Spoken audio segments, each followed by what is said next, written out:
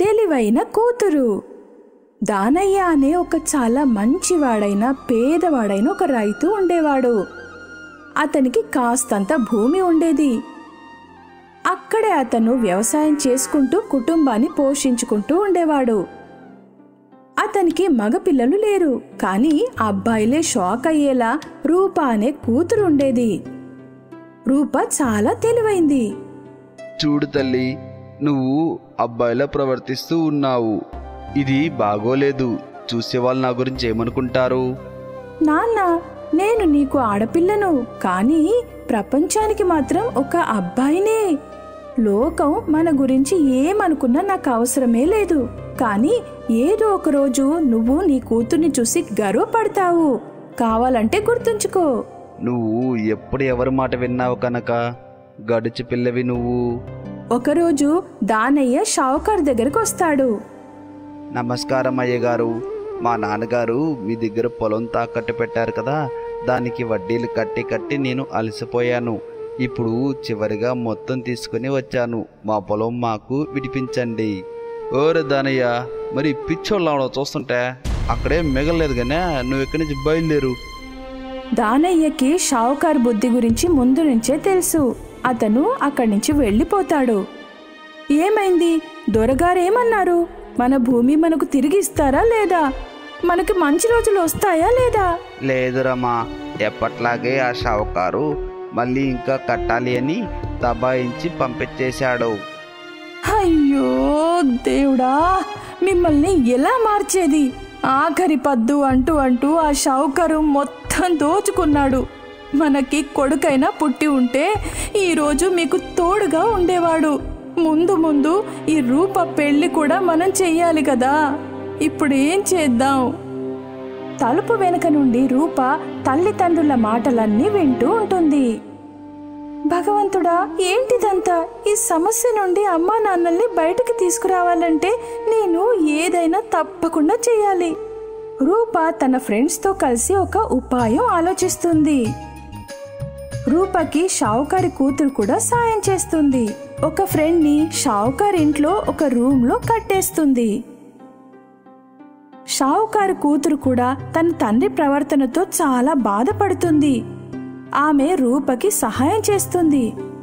రూప మారువేషంలో పంచాయతీలోని జనాలతో షావుకారింటికి వచ్చేస్తుంది.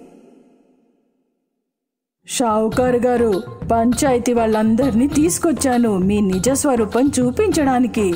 అసలుగానే ఇంతకు నువ్వెవరు? ఆయన సర్పంచ్ గారు మీరేంది? ఇటుపక్క వచ్చారు అది ఇతను దానయ్య కొడుకు రాము. ఇతను ఏమంటున్నాడంటే తన చెల్లెలు రూప తన యొక్క పొలం కాగితాలు తీసుకొని నీ దగ్గరికి వచ్చిందట. నువ్వు ఆమెను గదిలో పెట్టి బంధించావట. అయ్యయ్యో అదేంటది? ఏం మాట్లాడుతున్నారో? అలా నేనెందుకు చేస్తాను? కావాలంటే అంతా ఎత్తుక్కోండి. అలాంటిదేది లేదు సర్పంచ్ గారు. మా నాన్నగారు అన్ని పద్దులు కట్టేశారు. కానీ షావుకారు భూమిని అస్సలు ఇవ్వడం లేదు. అదీగాక నా చెల్లిని కూడా దాచేసి ఉంచాడు. అయ్యయ్యో ఏం మాట్లాడుతున్నారో? నాకు ఈడు తెలీదు వీళ్ళ చెల్లెలు కూడా తెలియదు ఇంతలో లోపల నుండి ఒక అరుపు వినిపిస్తుంది. కాపాడండి కాపాడండి! పంచాయతీ వాళ్ళంతా లాక్ చేసి ఉన్న రూమ్ తలుపు తెరుస్తారు. రూప స్నేహితురాల్ని బయటికి తీసుకొస్తారు. ఇక షావుకార్తో అంటారు అంటే రాము చెప్పింది నిజమేనమాట అయ్యయ్యో లేదు లేదు. నేను అనుకున్న దానికంటే ఎక్కువ డబ్బులు తీసుకుంది నిజమై ఉండొచ్చు. కానీ వాడి చెల్లెల్ని అయితే నేనైతే బంధించలేదు. ఈ విషయానికి ఖచ్చితంగా నీకైతే శిక్ష పడుతుంది. దానికంటే ముందు దానయ్య కొడుక్కి వాళ్ళ యొక్క పత్రాలంటి తిరిగి ఇచ్చేసేయి. లేదంటే నేను ఖచ్చితంగా వదిలిపెట్టేదే లేదు. అయ్యో చూడు దానయ్య నీ అవసరాన్ని బట్టి నీ దగ్గర ఎక్కువ సొమ్ములైతే నేనైతే ఖచ్చితంగా తీసుకొనే ఉంటాను. కానీ నేను చెప్పేది నిజం నీ బిడ్డనైతే నేను దాచలేదు. పంచాయతీ నీ యొక్క షావుకార్గిరిని రద్దు చేయాలనే విషయంపై ఖచ్చితంగా నిర్ణయం తీసుకుంటుంది. అసలు ఇక్కడ ఏం జరుగుతుంది? తను నా కూతురే కాదు నాకు అసలు కొడుకే లేడు. అప్పుడే రూప తన అసలు రూపం అందరికీ చూపుతుంది. నాన్న నన్ను క్షమించు కానీ షావుకార్ ఆగడాల నుంచి నిన్ను కాపాడడానికి నాకు వేరే దారే దొరకలేదు. నేను నా స్నేహితులు కలిసి నాటకం ఆడాము దీంట్లో షావుకార్ కూతురు కూడా నాకు సహాయం చేసింది. ఇలా చూడండి అమ్మాయిలు మీరు అబ్బాయిలకి అస్సలు తక్కువేమీ కాదు. ఇక రూప నిన్ను చూస్తుంటే నాకు చాలా గర్వంగా ఉంది. ఇక నాకు అబ్బాయి లేడనే లోటే లేదు. పంచాయతీ వాళ్ళు అక్కడున్న వాళ్ళు రూపని చాలా మెచ్చుకుంటారు. చూడు తల్లి రూప నువ్వు నా కూతురు కలిసి నా కళ్ళకుండే గంతల్ని ఇవాళతో తీసి పక్కన పడేశారు. నన్ను క్షమించి తల్లి. చూడు దానయ్య ఇంక నీ పొలంలో నువ్వు హాయిగా వ్యవసాయం చేసుకో. నీ కూతురే కొడుకులాగొచ్చి నీ యొక్క హక్కుల్ని ఈరోజు తిరిగి నీకు తీసిచ్చింది. మోసం అనేది ఎంతటి వారు చేసినా సత్యమే గెలుస్తుంది. మంత్రబద్ధ రాకుమారి. ఒకానొకప్పుడు ఒక వృద్ధ రైతు ఉండేవాడు. అతనికి ఆస్టిన్ కార్టర్ అనే ఇద్దరు కుమారులు ఉండేవారు. డాక్టర్ ఎక్కడున్నావు? నాకు నీ సహాయం కావాలి. నన్ను ఇబ్బంది పెట్టద్దు ముసలోడా. నేను కొనుగు తీస్తున్నాను ఆస్టిన్ నేను టౌన్కు వెళ్ళినప్పుడు ఆ కంచి దగ్గర పనిచేస్తున్నాడు. సరే నాన్నా ఆ వ్యక్తి టౌన్కు వెళ్తున్నప్పుడు అతను ఏమి ఆలోచిస్తున్నాడంటే? నాకు చేత కాకుండా మంచాన పడేలోపు ఏదో ఒకటి చెయ్యాలి. అందుకోసం కూర్చొని ఒక ఆలోచనకు రావాలి. అతను ఒక చెట్టు కింద కూర్చున్నాడు. అతని పక్కనే ఇద్దరు వ్యక్తులు కూర్చుని మాట్లాడుకుంటున్నారు. వారి సంభాషణని రైతు శ్రద్ధగా విన్నాడు. రాజుగారి కూతురు కోటలో బందీగా ఉంది. ఆమెకు సెక్యూరిటీగా ఒక డ్రాగన్ ఒక వృద్ధ మహిళ ఉన్నారు. రాజకుమారిని రక్షించాలనుకునే వారు ఎవ్వరైనా సరే మూడు పరీక్షల్ని నెక్కాల్సి ఉంటుంది. ప్రజలు వాటిని అత్యంత కఠినమైన పరీక్షలుగా భావిస్తున్నారు. నిజమేనా? వారు పెట్టిన పరీక్షల్లో నెగ్గని వారిని ఆ డ్రాగన్ తినేస్తుంది. ఒకవేళ ఆ మూడు పరీక్షల్లో ఉత్తీర్ణులైతే ఏం జరుగుతుంది? గెలిచిన వ్యక్తి ఆ రాజకుమారిని పెళ్ళి చేసుకొని ఆ కోటకి ఆ సంపదకి రాజవుతాడు. ఆ తర్వాత రైతు ఆలోచనలో పడ్డాడు. ఓ కార్నర్ దాన్ని చేయగలడు. అతడు ఆ మూడు పరీక్షలలో ఉత్తీర్ణుడైతే రాజకుమారుని వివాహమాడి రాజవుతాడు కదా. కొన్ని రోజుల తర్వాత తన వద్ద ఉన్న ఒకే ఒక గుర్రాన్ని ఒక కత్తిని కార్టర్కు ఇచ్చి రాకుమారుని రక్షించాలని చెప్పాడు. వెళ్తున్న దారిలోని వస్తువులన్నింటినీ కార్టర్ నిర్లక్ష్యంగా కత్తితో కొట్టేవాడు. ఆ పిల్లాడి హృదయం క్రూరమైంది. ఒక చీమల పుట్ట దగ్గరగా పోతున్నప్పుడు దాన్ని ధ్వంసం చేసేవాడు. కొలనులో నీళ్ళు తాగి అక్కడున్న బాతులను రాళ్ళతో కొట్టేవాడు. మరి అతను కోటకు చేరుకోబోతుండగా అక్కడొక తేనెటీగల తుట్టెను చూసి దాన్ని కత్తితో కొట్టాడు. ఇప్పుడు తను పరిగెత్తాల్సొచ్చింది. చివరికి కోట దగ్గరికి చేరుకున్నాడు. అతను తలుపును కాలితో తన్ని పెద్దగా అరవడం మొదలుపెట్టాడు. వెంటనే తలుపులు తెరవండి. నేను చాలా అలసిపోయాను. మీకంత ధైర్యం నన్ను వెయిట్ చేయించొద్దు. నీ తలుపులు బద్దలు కొడతాను. అంతిమంగా తీపి గొంతుకతో ఒక ముసలావిడ తలుపులు తెరిచింది. తలుపులు ఎవరు కొట్టారు? నేను గంట నుంచి ఇక్కడే ఉన్నాను. మీకేమైనా చెవుడొచ్చిందా? లేదు లేదు. నేను చెవిటి దానిని కాదు. నేను రాజకుమారిని రక్షించాలి రాజును కావాలి. ఆగాగు. మొదట నువ్వు నేను పెట్టే మూడు పరీక్షల్లో నెగ్గాల్సి ఉంటుంది పరీక్షలా? ఏం పరీక్షలు? నేను దేనికి భయపడను? నేను ఈ సన్ఫ్లవర్ విత్తనాలను గాలిలో ఎగరేస్తాను. అవి గాలి వాపుగా కొట్టుకుపోతూ ఉంటాయి. ఒక గంట సమయంలో నువ్వు వాటిని తీసుకొచ్చి ఈ సంచిలో ఉంచాలి. నేను వెర్రివాళ్ళ కనిపిస్తున్నానా? అసలు ఇది ఏం పరీక్ష? నేను గంటలో తిరిగి వస్తాను. ఆ తర్వాత ఆ ముసలావిడ విత్తనాలను గాల్లోకి విసిరేసి తలుపులు మూసేసింది. ఆ, దీనికి నేను ఒప్పుకోను. ఆ విత్తనాలన్నింటినీ నేను అస్సలు ఏరను. ఆ ముసలావిడ తిరిగొచ్చి రెండో పరీక్ష గురించి చెప్పింది. ఒక లోతైన సరస్సులో పన్నెండు బంగారు ఉంగరాలను విసిరేసింది. నువ్వొక గంటలో వాటిని తీసుకొని రావాలి. నువ్వు నాతో జోక్ చేస్తున్నావా? ఆ నీళ్ళు చాలా లోతుగా ఉన్నాయి పైగా చల్లగా ఉన్నాయి. నువ్వు వాటిని సరిగ్గా చేయటం లేదు నాయనా. అయితే మూడో పరీక్షకి సిద్ధంగా ఉండు. నాతో రా. నాకు విసుగొస్తోంది. వాళ్ళు కోటలోకి వచ్చినప్పుడు వాళ్ళిద్దరూ ఒక చీకటి గదిలోకి వెళ్ళారు అక్కడ మూడు ఛాయా చిత్రాలున్నాయి వాటిపైన తెల్లటి షీట్ ఉంది. ఒక గంటలోపు రాజకుమారి ఛాయాచిత్రం ఏదో చెప్పవలసి ఉంటుంది. మీ ఊహ సరైందైతే ఆమెకి విముక్తి లభిస్తుంది. లేకపోతే నేను కుడివైపు ఉన్నదాన్ని ఎంచుకుంటాను. ఆ కుడివైపు ఉన్నదాన్ని నువ్వు తొలగించు. నో నో డ్రాగన్ వద్దు వద్దు నో నో నో. కొన్ని రోజుల తరువాత ఆ రైతు ఆస్టిన్తో మాట్లాడుతున్నాడు. డాక్టర్ ఎక్కడా? నేను తన గురించి ఆందోళన చెందుతున్నాను. నానా నన్ను కోటకు వెళ్ళనివ్వు. వద్దు బాబు ఒక్కగానొక్క కొడుకుని నేను వదులుకోలేను. నన్ను నమ్మండి నానా నేను తప్పకుండా తిరిగొస్తా. నీకిచ్చేందుకు నా దగ్గర గుర్రం కాని కత్తి కాని లేవు. ఆస్టిన్ ఒక బ్రెడ్ ముక్కను మాత్రమే తీసుకుని కాలినడకన ఆ మంత్రబద్ధ కోటకు బయలుదేరాడు. ఒక చెట్టు కింద విశ్రాంతి తీసుకోవాలని అనుకున్నాడు. అక్కడతను ఒక చీమల పుట్టని చూశాడు. చాలా చీమలు ఆ పుట్టను తిరిగి కట్టుకునేందుకు ప్రయత్నిస్తున్నాయి. ఓ పాపం చీమలు. మీ పుట్టను ఎవరు ధ్వంసం చేశారు? దాన్ని తిరిగి కట్టేందుకు నేను మీకు సహాయం చేస్తాను. చీమల పుట్ట నిర్మాణానికి సహాయం చేసిన వెంటనే అతడు నీళ్ళు తాగేందుకు ఆ సరస్సు దగ్గరికెళ్ళాడు అక్కడ కొన్ని చిన్న బాతులు ఈదుతూ కనిపించాయి. ఓ నా ప్రియమైన బాతుల్లారా మీరు ఆకలిగా ఉన్నట్లున్నారు నా దగ్గర బ్రెడ్ ముక్కలున్నాయి తినండి. ఆ చిన్ని బాతులు ఆ బ్రెడ్ ముక్కను తిన్నాయి. ఆ తర్వాత తేనె తుట్టె నేల మీద పడి ఉండడాన్ని చూశాడు. ఆ తేనె తుట్టెను తీసి చెట్టుపై పెట్టాడు. ఆ తర్వాత మంత్రబద్ధ కోటకు తిరిగి ప్రయాణమయ్యాడు. అక్కడికి చేరుకున్నాక తలుపు తట్టాడు. నీకేమీ కావాలి నాయనా? హలో నేను రాజకుమారిని రక్షించాలనుకుంటున్నాను. నువ్వు ప్రయత్నించవచ్చు. సన్ఫ్లవర్ గింజల్ని నేలపైన పడేసి ఆమె అక్కడి నుండి వెళ్ళిపోయింది. హ్మ్. ఈమెంట్ ఇలా పడేసి వెళ్ళిపోయింది. దీన్ని ఇప్పుడు నేను శుభ్రం చేయాలేమో. నలభై ఐదు నిమిషాల తర్వాత ఆస్టిన్ ఆ పని చేయకుండా వదిలేయాలనుకున్నాడు.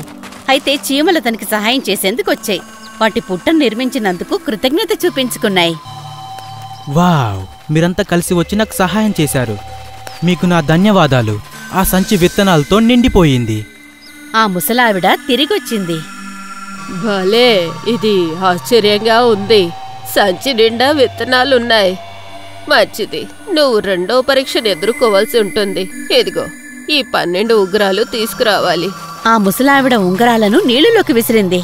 ఆస్టిన్ నీళ్ళలోకి దూకాడు. అయితే అది చాలా లోతుగా ఉంది. అవి నీటి అడుక్కి వెళ్ళకముందే వాటిని పట్టుకోవాలన్న అతని ప్రయత్నం విఫలమైంది. అయితే అప్పుడు నీటిలో ఏవో కదులుతున్న విషయాన్ని అతను గమనించాడు. అవి అతనికి సహాయం చేయడానికి వచ్చిన బాతులు. వాటికి ఒక చిన్న బ్రెడ్ ముక్కనిచ్చినందుకు కృతజ్ఞతగా అవి తిరిగి సహాయం చేశాయి. వావ్! స్నేహితులారా మీకు నా ధన్యవాదాలు. ఇప్పుడు ఆ పన్నెండు ఉంగరాలు నా దగ్గరున్నాయి. ఇక ముసలావిడిని చూసేందుకు కోటలోకి వెళ్ళాడు. ఆ, అన్ని పన్నెండు ఉంగరాలు. ఇదివరకెప్పుడు ఇలా జరగలేదు. పర్వాలేదు. నాతో రా. ఆ ముసలావిడ మూడవ పరీక్ష గురించి ఆస్టిన్కు వివరించింది. ఆ మూడు ఛాయాచిత్రాలను చూస్తున్నప్పటికీ వాటిలో రాజకుమారి చిత్రాన్ని అతను గుర్తించలేకపోయాడు. హ్మ్, అవన్నీ ఒకటిగానే కనపడుతున్నాయి. ఆలోచించు ఆస్టిన్. ఆలోచించు. రాజకుమారి చిత్రపటం ఏదో చెప్పు. ఉన్నట్టుండి వందలాది తేనెటీగలు కిటికీ గుండా లోనికి వచ్చి మధ్యలో ఛాయాచిత్రం చుట్టూ తిరగసాగాయి. అదిగో ఆ మధ్యలో ఉన్నది. ఓ మధ్యలోదేనా? నువ్వు దాన్ని ముసుగు తొలగించు. దానిపై ఉన్న తెల్లటి షీట్ కింద పడిపోయింది. రాజకుమారి కనిపించింది. Thank you Aston. ఈ చిక్కు సమస్యను పరిష్కరించి నన్ను కాపాడావు. అని రాకుమారి అనిర్వచనీయంగా మాట్లాడింది. ఆ కోట బురుజు నుంచి డ్రాగన్ తప్పించుకోవడాన్ని వాళ్ళిద్దరూ చూశారు. ఈ కోటకి ఇప్పుడు నువ్వే యజమానివి. నేనిప్పుడే వెళ్ళిపోతాను. అయితే ఆస్టిన్ సమయం చూసుకుని రాకుమారిని పెళ్లి చేసుకుంటావా అని అడిగాడు సంతోషంగా రాకుమారి ఒప్పుకుంది ఆ తర్వాత వాళ్ళు జీవితాంతం తేనె తుట్టల్ని నిర్మిస్తూ కోట కందకాలను మంచి బాతు పిల్లలతో కళకళ్లాడే విధంగా నింపుతూ సంతోషంగా జీవించసాగారు శుభం மேஜிக் ஜாக்கி மற்றும் ஸ்னோ கிறிஸ்டல் ஒரு கிராமத்தில் ஏஞ்சலினா அப்படிங்கிறவங்க அவங்க பொண்ணு ஸ்னோ கிறிஸ்டல் கூட வாழ்ந்துட்டு இருந்தாங்க ஸ்னோ கிறிஸ்டல் ரொம்ப அழகா அப்புறம் அடக்கமான பொண்ணா இருந்தா. ஏஞ்சலினாவுக்கு பூக்கொத்துக்களை செஞ்சு தர ஒரு சின்ன வியாபாரம் இருந்துச்சு. ஏஞ்சலினாவுக்கு அவளுடைய வறுமை அப்புறம் கஷ்டங்களை நினைச்சு ரொம்ப கவலையா இருந்துச்சு. அவளுடைய பொண்ணு இப்போ ரொம்ப பெரியவளா இருந்தா. அதனால அவளுடைய கல்யாணத்தை பத்தி நினைச்சு கவலையில இருந்தா. ஸ்னோ கிறிஸ்டல் உனக்கு ஒரு நல்ல வரன் கிடைச்சதுன்னா அவனுக்கு உன்னை கல்யாணம் பண்ணி கொடுத்துட்டு ஒரு பெரிய பொறுப்பை முடிச்சிடலாம்னு பாக்குறேன் மா நீ சும்மா கவலைப்பட்டுக்கிட்டு இருக்க. கடவுள் எல்லாத்தையும் நல்லபடியா நடத்துவாரு. நானும் அந்த கடவுளை தான் நம்பி இருக்கேன். அம்மா பொண்ணு ரெண்டு பேரும் ஒருத்தங்கள ஒருத்தங்க நல்லா கவனிச்சுக்கிட்டாங்க. அவங்க ரெண்டு பேரும் ஒண்ணா சேர்ந்து வீட்டு வேலைகளை பார்த்துப்பாங்க. அப்போ அங்க பனிகாலம் ஏஞ்சலினா அப்புறம் ஸ்னோ கிறிஸ்டல் மதியம் சாப்பிட்டுட்டு கொஞ்ச நேரம் ரெண்டு பேரும் உட்காந்து பேசிக்கிட்டு இருந்தாங்க. அப்போ அங்க திடீர்னு அவங்க வீட்டு கதவுக்கு வெளியே ஏதோ ஒரு விலங்கோட சத்தம் கேட்டுச்சு. அவங்க ரெண்டு பேரோட கவனமும் அந்த பக்கம் போச்சு. நான் நினைக்கிறேன் ஏதோ ஒரு விலங்கு நம்ம வீட்டுக்கு வெளியே நின்னுக்கிட்டு இருக்கு அப்படின்னு. மா நீ இருமா? நான் பார்க்குறேன் வெளியே என்ன இருக்குன்னு. அப்போ ஸ்னோ கிறிஸ்டல் ஜன்னல் வழியா வந்து வெளியே எட்டி பார்த்தா. அப்போ அதை பார்த்து அவ சந்தோஷமா சிரிக்க ஆரம்பிச்சா. அம்மா இங்க வாயேன் இங்க பாரு இந்த நாய்க்குட்டி எவ்வளோ அழகா இருக்குன்னு. ஏஞ்சலினா ஜன்னல் கிட்ட வந்து அந்த நாய்க்குட்டியை பார்த்துக்கிட்டே இருந்தா. அப்போ ஸ்னோ கிறிஸ்டல் வெளியே போய் அந்த நாயை தூக்கிட்டு வீட்டுக்குள்ள வந்தா. பாவம் அந்த சின்ன நாய்க்குட்டி மேல நிறைய பனிகள் விழுந்திருந்துச்சு. அது குளிர்ல நடுங்கிக்கிட்டு இருந்துச்சு. உடனே ஏஞ்சலினா ஒரு துணியை எடுத்துட்டு வந்து அது மேல போத்தி விட்டா.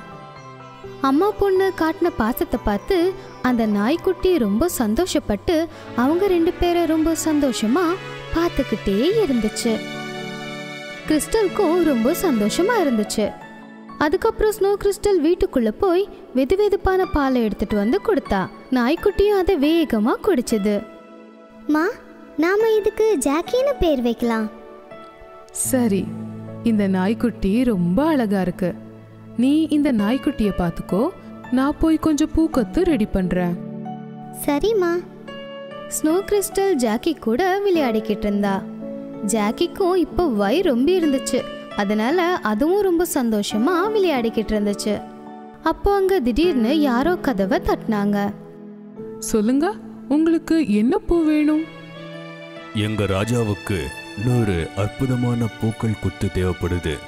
நீங்க நாளைக்குள்ள அந்த பூக்கள் குத்த தயார் பண்ணி கொடுப்பீங்களா? உங்ககிட்ட அற்புதமான பூக்கள் இருக்கா?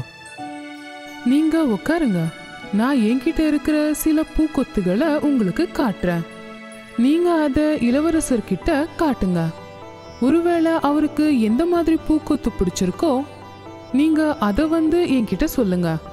அதுக்கப்புறம் நான் நாளைக்கு மதியத்துக்குள்ள நூறு பொக்கேங்களை ரெடி பண்ணி கொடுக்குறேன். அதுக்கப்புறம் அந்த ஆளு கொண்டு வந்திருந்த பணத்தை ஏஞ்சலினா கிட்ட கொடுத்து ஏஞ்சலினா கொடுத்த பூக்கொத்துக்களை எடுத்துட்டு அங்கிருந்து போயிட்டாரு. நம்ம ஜாக்கி நமக்கு ரொம்ப லக்கியானவனா இருக்கான். அவன் வீட்டுக்கு வந்ததும் நமக்கு முதல் தடவையா அரண்மனையிலிருந்து இவ்வளோ பெரிய ஆர்டர் கிடைச்சிருக்கு. நமக்கு இப்போ அதிர்ஷ்ட கதவு திறந்திருக்கு. நீங்க சரியா சொன்னீங்க அம்மா. ஏஞ்சலினா அங்கிருந்து நடக்க ஆரம்பிச்சா. அப்போ திடீர்னு அவளுக்கு முட்டி வலி வந்து அங்கேயே உக்காந்துட்டா. அப்பா இந்த முட்டி வலி என் உயிரை எடுத்துட்டு தானே போகும். அவ அவளுடைய முட்டியை பிடிச்சுக்கிட்டு அங்கேயே உக்காந்ததும் ஜாக்கி அதை பார்த்து அவ பக்கத்துல வந்து அந்த முட்டிய நக்க ஆரம்பிச்சது. அட இதென்ன? ஏன் முட்டி வலி எங்க போச்சு? இது ரொம்ப பெரிய மேஜிக் தான். ஏஞ்சலினா ஜாக்கியை தூக்கி மடியில வச்சுக்கிட்டா. அம்மா என்ன சொல்றீங்க? உண்மையிலேயே உங்க முட்டி வலி போயிடுச்சா? ஆமாமா ஜாக்கி என்னை தொட்டதும் என்னோட வலி எல்லாம் போயிடுச்சு. இவன்கிட்ட ஏதோ மந்திர சக்தி இருக்கு. அம்மா பொண்ணு ரெண்டு பேரும் சந்தோஷமா இருந்தாங்க. அப்போ ஜாக்கியும் சந்தோஷத்துல எகிரி குதிச்சு விளையாடிக்கிட்டு இருந்தான். அம்மா அப்புறம் பொண்ணு ரெண்டு பேரு கூட சேர்ந்து ஜாக்கியின் தோட்டத்துல பூ பறிக்க போனா அவங்க மூணு பேரும் தோட்டத்துக்கு வந்து பார்த்தப்போ அங்க நிறைய பூக்கள் பூத்திருந்துச்சு. அம்மா பொண்ணு ரெண்டு பேரும் பூ பறிக்க ஆரம்பிச்சாங்க. ஜாக்கி பட்டாம்பூச்சி கூட விளையாடிக்கிட்டு இருந்தான்.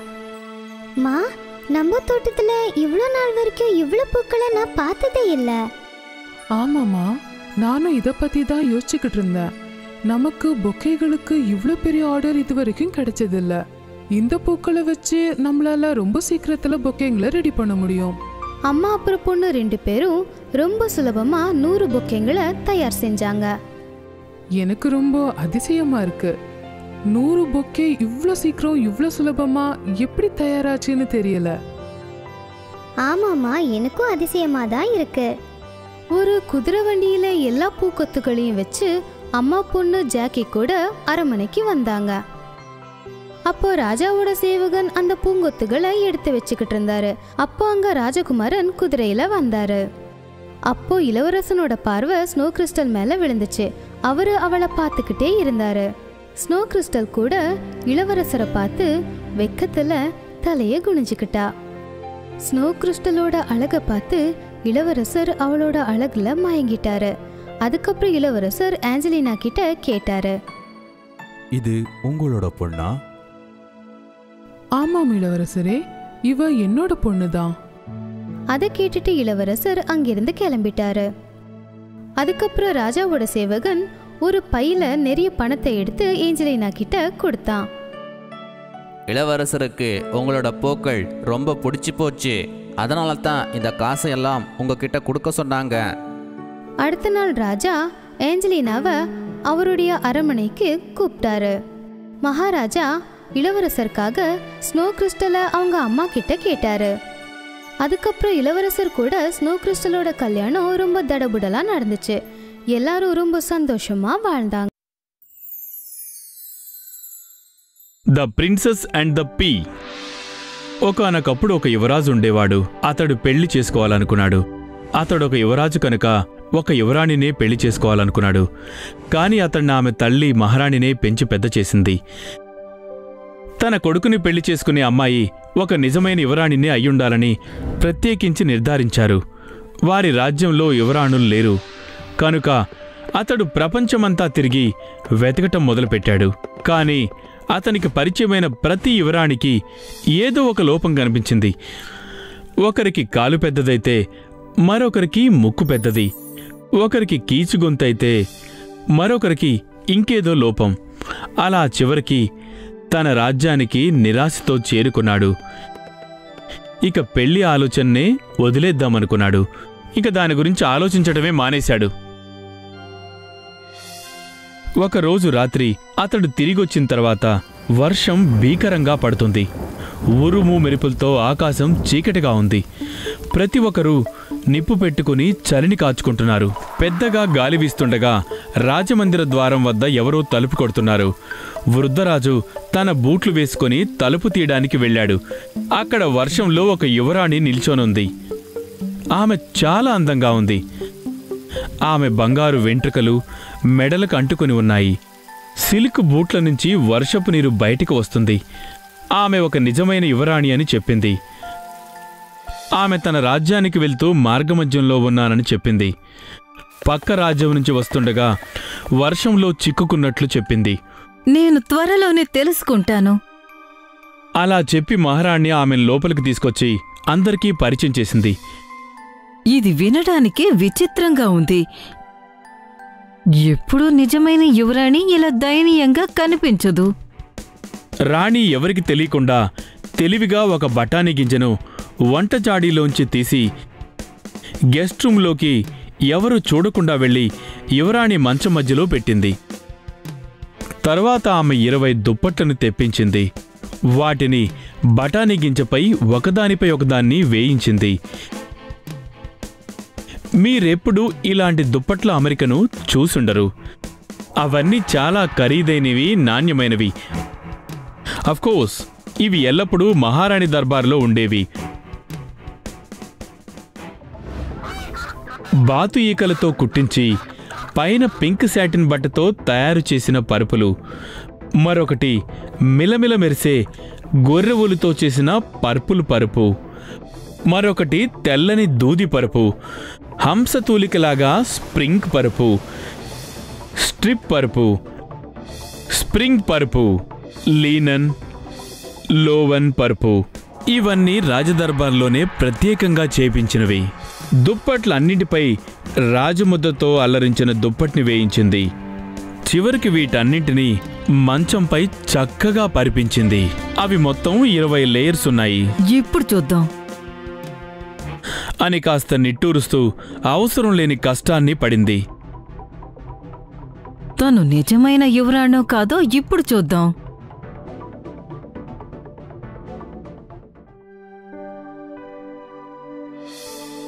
మరుసటి రోజు పొద్దున్నే యువరాణి అల్పాహారానికి వచ్చింది. అలసిపోయి కనిపించింది. బంగారు తల్లి నువ్వు ప్రశాంతంగా పడుకున్నావా? అని మహారాణి అడిగింది. అని యువరాణి జవాబిచ్చింది. మంచం మీద ఏముందో నాకు తెలీదు. ఏదో కంకర్ రాయిలాగా మరీ గోళి అంత పెద్దగా ఉంది.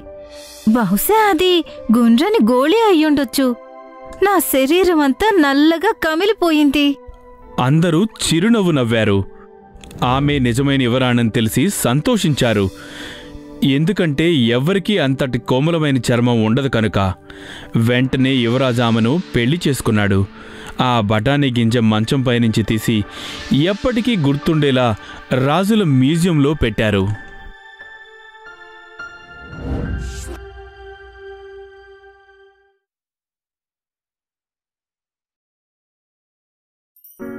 చిన్నారి జలకన్య.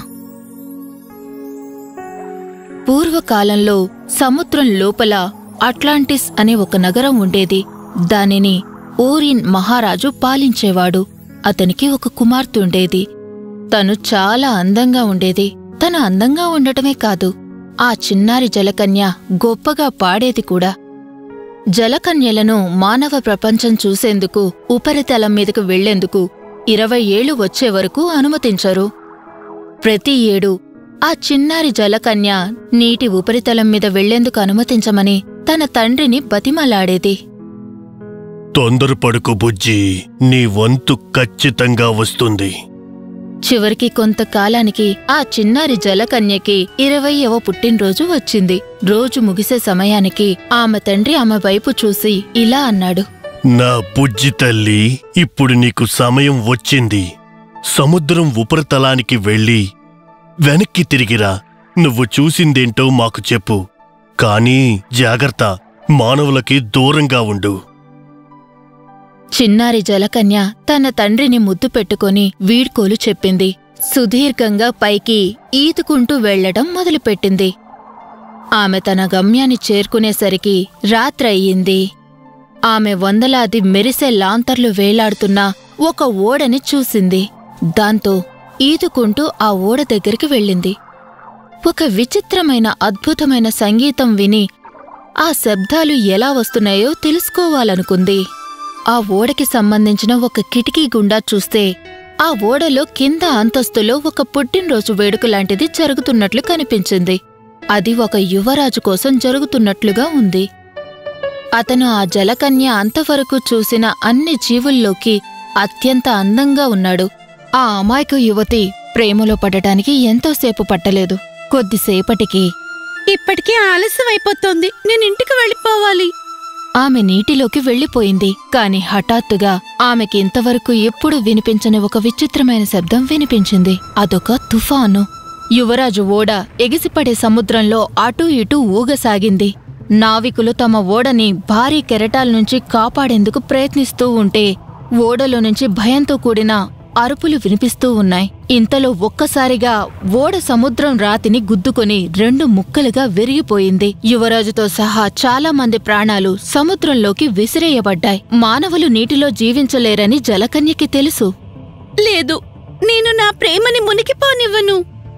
ఆమె యువరాజుని తిరిగి నేల మీదకి తీసుకొని పోయింది. అక్కడ రాత్రంతా అతని గాయాలకు సుపరిచర్యలు చేసింది. ఆ సముద్ర తీరానికి వచ్చే సమయానికి యువరాజుకి స్పృహ లేదు. కాబట్టి ఆ జలకన్య స్పృహ కోల్పోయిన యువరాజును ఒక చిన్న చర్చ్ ముందు ఇసుకలో పడుకోపెట్టి సహాయం కోసం కేకలు వేసింది. తర్వాత అతని సహాయం కోసం ఎవరైనా వస్తారేమో గమనించేందుకు ఈదుకుంటూ దగ్గర్లో ఉన్న రాళ్ళ దగ్గరికి వెళ్ళిపోయింది యువరాజు కళ్ళు తెరిచాడు. ఒక అమ్మాయి చర్చి నుంచి బయటికి రావటం చూశాడు. ఆ అమ్మాయి అతన్ని చూడగానే సహాయం కోసం గబగబా చర్చిలోకి పరిగెత్తింది. జనం పరుగున వచ్చి యువరాజుని ఎత్తుకొని సున్నితంగా మోసుకొని పోయారు. తర్వాత జలకన్య ఈదుకుంటూ ఇంటికి వెళ్ళిపోయింది కొన్ని రోజుల వరకు ఆమె విషాదంగా ఒంటరిగా కూర్చొని ఉంది. కాని చిన్నారి జలకన్య ఆ యువరాజుని మర్చిపోలేకపోయింది. దాంతో ఆమె ఒక తెలివి తక్కువ ఆలోచన చేసింది. పారిపోయి తన హృదయాన్నిచ్చిన ఆ అపరిచితుడితో ఉండిపోవాలనుకుంది. ఆ మర్నాడు చిన్నారి జలకన్య తమ రాజవంశ సలహాదారుడైన సెబాస్టిన్ అనే పీతని పిలిచింది. వెంటనే సెబాస్టిన్ చిన్నారి జలకన్యను కలవడానికి వచ్చాడు. రా కుమారి నీకెలా నేను సహాయపడగలను? నన్ను సముద్రపు మంతగత్తి ఊర్సుల దగ్గరకు తీసుకుపో. సెబాస్టిన్ ఆశ్చర్యంతో ఉలిక్కిపడ్డాడు. చిన్నగా అరిచాడు. ఆమెవరో నీకు తెలీదా? ఆమె ఒక దుష్ట మంత్రగత్తె. అయినా ఎందుకు? అప్పుడామె సెబాస్టన్కి ఆ తుఫాను గురించి దాంతోపాటు యువరాజు దగ్గరికి వెళ్ళిపోవాలన్న తన ఆలోచన గురించి మొత్తం కథంతా చెప్పింది. కొద్దిసేపు వాదించిన తర్వాత సెబాస్టన్ తెలివి తక్కువగా ఉర్సులా దగ్గరికి తీసుకువెళ్ళడానికి ఒప్పుకున్నాడు. సముద్రపు మంత్రగత్తె సముద్రంలో అత్యంత చీకటిగా అత్యంత చల్లగా ఉండే భాగంలో ఉంటుంది. ఆమె ఇల్లు మునిగిపోయిన నావికుల ఎముకలతో నిర్మించబడి ఉంటుంది. దానికి విషతుల్యమైన సర్పాలు కాపలా కాస్తూ ఉంటాయి. చిన్నారి జలకన్య సబాస్టెన్లు ఉర్సులా ఇంటికి ప్రవేశించే సమయానికి ఆ సముద్ర మంత్రగత్తె తన స్ఫటిక గోళం ఎదురుగా నిలబడి స్నేహపూర్వకంగా నవ్వుతూ దానిలోకి చూస్తూ ఉంది. ఉర్సులా నేనెందుకొచ్చానంటే ఓ నా ప్రియమైన రాకుమారి నువ్వెందుకొచ్చావో నాకు తెలుసు. నువ్వు కలుసుకున్న ఒక యువరాజుని పెళ్ళి చేసుకోవాలనుకుంటున్నావు. నీ చేపతోకని వదులుకోవాలని కోరుకుంటున్నావు. భయపడకు. నా దగ్గర ఒక కషాయం ఉంది. అది విఫలమవ్వదు. అంటే నువ్వు నాకు సాయం చేయగలవా? నా బుజ్జి తల్లి నేనదే చేయబోతున్నాను. నేనున్నది అందుకే. నీ తోకని మాయం చేయగలను. కానీ అది నొప్పిగా ఉంటుంది కూడా. ముందిది చెప్పు నేనేం చెయ్యాలి? ఉర్సులా తన టాంటికిల్స్తో తన సామాన్ల గది నుంచి ఒక నల్లటి కషాయాన్ని బయటికి తీసింది. ఈ కషాయంతో నువ్వు రెండు కాళ్ళతో కదిలే జీవివైపోతావు. నాకా కషాయం నివ్వు. ఉర్సులా భయంకరంగా నవ్వుతూ ఇలా అంది. లేదు లేదు లేదు లేదు లేదు. లేదు ఈ కషాయం కావాలంటే నాదొక షరతుంది ఏది ఉత్తినే రాదు. మొదట నాకు నువ్వు మూల్యం చెల్లించాలి. కానీ నా దగ్గర ఏమీ లేవు. నేను కేవలం అపరిమితమైన ఐశ్వర్యమున్న ఒక యువరాణిని మాత్రమే నేనేం చెల్లించగలను? నాకు కావలసింది నీ అందమైన గొంతు. తరువాత నువ్వు ఖచ్చితంగా మనిషివైపోతావు. నీకు కేవలం మూడు రోజులే ఉన్నాయి. ఇది గుర్తుంచుకో. యువరాజు నిన్ను ప్రేమించి ముద్దు పెట్టుకోవాలి. నిన్ను ముద్దు పెట్టుకోగానే నువ్వు శాశ్వతంగా మనిషివైపోతావు. ఆనందాన్ని ఆస్వాదిస్తావు. కాని నా మాటల్ని అనుసరించటంలో విఫలమైతే నువ్వు సముద్రపు నురగలా మిగిలిపోతావు. మంచిది. ఆ మూల్యం చెల్లిస్తాను. ఆ మంత్రగత్తె చిన్నారి జలకన్యకి ఆ కషాయాన్ని అందించింది. ఆమె గొంతు పోయింది. ఆ మర్నాడు యువరాజు సేవకులు రాజభవనం దగ్గర్లో సముద్ర తీరాన పడి ఉన్న ఒక అందమైన యువతిని చూశారు. వాళ్ళామెని లోపలికి తీసుకురావడానికి సహాయం చేశారు. ఆమె నడుస్తూ ఉంటే ఏదో కత్తుల మీద నడుస్తున్నట్టుగా గొప్ప నొప్పిగా అనిపించింది. సేవకులు ఆమెకి చక్కటి బట్టలు తొడిగించారు. ఆమెని చూడ్డానికి యువరాజు వచ్చాడు. నేనింతవరకు చూసిన అత్యంత అందమైన స్త్రీవి నువ్వే తెలుసా? నీ పేరేంటి? కాని ఆమె నిశ్శబ్దంగా ఉండిపోయింది. ఎందుకంటే ఆమె మన చిన్నారి జలకన్య. ఆమె మాట్లాడలేకపోయినా తొందరలోనే యువరాజు ఇష్టసఖిగా మారిపోయింది. అతను చిన్నారి జలకన్య పక్కన లేకుండా ఎక్కడికి వెళ్ళేవాడే కాదు. త్వరలోనే యువరాజు ఆమె అంటే తనకెంతిష్టమో చెప్పాడు. ఆమెకి తన హృదయం పేలిపోతుందేమో అనిపించింది. కాని నేను నిన్ను పెళ్ళి చేసుకోలేను. ఎందుకంటే నేను అసలైన ప్రేమ కోసం వెతుకుతూ ఉన్నాను. అతను ఆ తుఫాను గురించి ఒక అందమైన అమ్మాయి తనని రక్షించడం గురించి అలాగే ఒక చిన్న చూపులో ఆమెతో ఎలా ప్రేమలో పడింది వివరంగా చెప్పాడు. ఎప్పటికైనా ఆమె కనిపిస్తే ఆమెనే పెళ్ళి చేసుకోవాలని నిర్ణయించుకున్నాను అని చెప్పాడు. చిన్నారి జలకన్య చాలా బాధపడింది. ఎందుకంటే ఆ అమ్మాయిని నేనేనని యువరాజుకి చెప్పలేదు. కేవలం అతనితో కలిసి ఉండేందుకే తన తోక తన గొంతు తన కుటుంబం అన్నిటినీ వదులుకుందని చెప్పలేదు. రెండవ రోజు మరో ప్రాంతం నుంచి ఒక రాజు యువరాజుని కలవడానికి వచ్చాడు. ఆ రాజు తనతో పాటు తన అందమైన కూతుళ్ళని తీసుకొచ్చాడు. యువరాజు ఆ రాజకుమారిని చూడగానే గుర్తించాడు. సముద్ర తీరంలో పడి ఉన్న అతన్ని చూసింది ఆ అమ్మాయే కాబట్టి తనని పెళ్ళి చేసుకోమని ఆమెని అడిగాడు. ఆమె అంగీకరించింది. మూడవ రోజు చిన్నారి జలకన్య తన గుండె బద్దలైపోతుంది అనుకుంది. ఎందుకంటే యువరాజు మరో రాజకుమారిని పెళ్ళి చేసుకునే రోజు అదే. సూర్యాస్తమయం కాగానే సముద్ర మంత్రగత్తెతో చేసుకున్న ఒప్పందం ప్రకారం ఆమె చనిపోతుంది.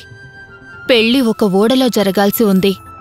కాబట్టి బరువైన గుండెలతో ఆమె చివరిసారి యువరాజును చూసేందుకు ఆ వివాహానికి హాజరైంది. ఆ రోజు ఉదయం చిన్నారి జలకన్య తల్లిదండ్రులు ఉరుసులా దగ్గరికి వెళ్ళారు ఆమెని బెదిరించారు. ఆ క్రూర సముద్ర మంత్రగత్తె వాళ్ళకి ఒక కత్తినిచ్చింది. వాళ్ళ కూతురు ఆ కత్తిని యువరాజు గుండెల్లో గుచ్చితే ఆ కషాయ ప్రభావం విరిగిపోతుందని వివరించింది. వివాహం జరగబోతుంది. ఆమె ఏడవటానికి డెక్ మీదకి వెళ్ళింది. అక్కడ్నుంచి నీటి మీద ఉన్న తన తల్లిదండ్రులను చూసింది. వాళ్ళు విషాదంగా ఉన్నారు. ఎంత పని చేశావు నా బుజ్జి? ఆమె తల్లి ఏడుస్తుంది. త్వరపడు. ఇప్పటికైనా నిన్ను నువ్వు కాపాడుకోవచ్చు. ఆ మంత్రగత్తె మాకు ఈ మంత్రాల కత్తినిచ్చింది. దాంతో యువరాజుని చంపై. అతని రక్తం నీ పాదాల మీద పడితే నీ తోక మళ్ళీ పెరుగుతుంది. నువ్వు మళ్ళీ ఒక జలకన్యగా మారిపోతావు. తొందరగా సూర్యోదయం కావస్తుంది. తన తల్లిదండ్రులు వెళ్ళిపోయిన తర్వాత ఆమె కత్తితో యువరాజు వైపు పరిగెత్తింది. అతని వైపు చూసింది. అతను ఆనందంగా తన కొత్త భార్య పక్కన పడుకుని ఉన్నాడు. ఆమె కత్తితో ఒక్క దెబ్బ వేస్తే చాలు. తనకి విముక్తి కలుగుతుంది. ఆమె ఆ పదునైన కత్తివైపు ఆ యువరాజు వైపు చూసింది. ఆమె ఇప్పటికీ తనని ప్రేమిస్తోంది. కాబట్టి మళ్ళీ డెక్కు మీదికి వెళ్ళింది. ఆ పదునైన కత్తిని సముద్రంలో విసిరేసింది. ఆ ఉదయం యువరాజు మొత్తం పైన కింద అంతా గాలించమని సేవకులను ఆదేశించాడు. కాని చిన్నారి జలకన్య జాడేలేదు యువరాజు చాలా బాధపడ్డాడు. తరచూ తన స్నేహితురాలి మీద బెంగతో సముద్ర తీరంలో అర్ధరాత్రి వరకు కూర్చుండిపోతూ ఉండేవాడు. ఒక్కోసారి వెన్నెల్లో మెరిసే నీటి మీద ఆ బుడగల్ని చూస్తున్నప్పుడు అతను దాదాపు ఖచ్చితంగా ఆమె ముఖాన్నే చూస్తూ ఉంటాడు. శుభం.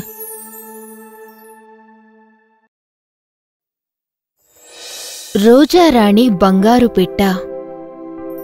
చాలా చాలా ఏళ్ళ క్రితం సుదూరంగా ఒక రాజ్యం ఉండేది. అందులో ఒక అందమైన రాజకుమారి ఉండేది. ఆమెకు పొడవైన ఎర్రటి జుట్టు ఉండేది. ఆమెకి రోజాలంటే చాలా ఇష్టం. దాంతో అందరూ ఆమెని రోజా రాజకుమారి అని పిలిచేవారు. ప్రతిరోజు సూర్యాస్తమయం తర్వాత రోజా రాజకుమారి రాజమందిరంలో బాల్కనీలోకి వెళ్ళి చప్పట్లు కొట్టేది. దాంతో ఎక్కడ్నుంచో ఒక బంగారు పెట్టె ఎగురుకుంటూ వచ్చి ఆమె భుజం మీద వాలేది. ఏదో మంత్రమేసినట్టుగా ఆమె జుట్టు మెరిసిపోయేది. ఒక అద్భుతమైన ఎర్రటి కాంతితో ఆమె జుట్టు ప్రకాశవంతంగా మారిపోయేది.